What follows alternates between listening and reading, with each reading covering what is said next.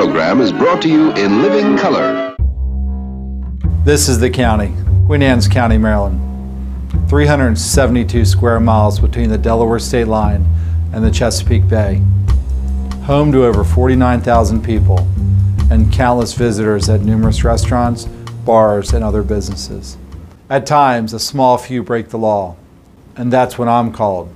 I carry a badge.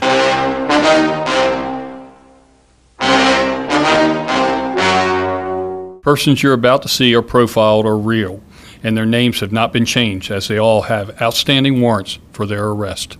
It's July 2013, and we're working violation of probation warrants. My partner is you, the public. My name is Sheriff Gary Hofmann. Many are given probation to receive a suspended sentence or a second chance. Most complete the time and go on to productive lives, but a few fail to obey the terms, and the court wants them back before a judge.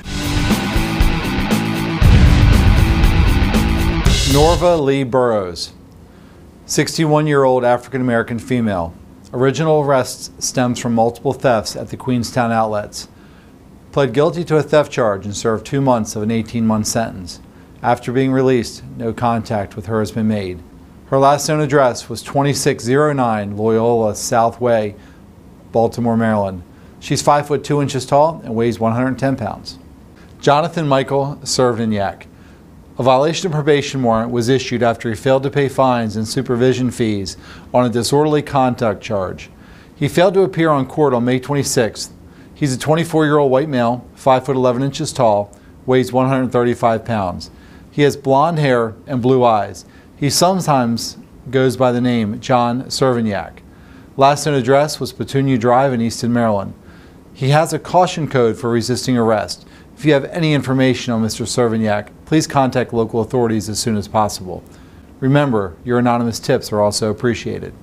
Barry Emery Williams. Williams was found guilty on a controlled dangerous substance possession charge from 2009 during a traffic stop. In 2011, a violation of probation warrant was issued by district court. After failing to obey all laws and not notifying his probation agent of new charges, the warrant was issued. Williams' last known address was Greenwood, Delaware. Williams is an African American male, 5 foot 7 inches tall, about 165 pounds. He's 48 years old. In addition to the charges here in Queen Anne's County, he is also wanted by Delaware authorities. Wanda Lee Fisher. Fisher is a white female. She's 56 years old.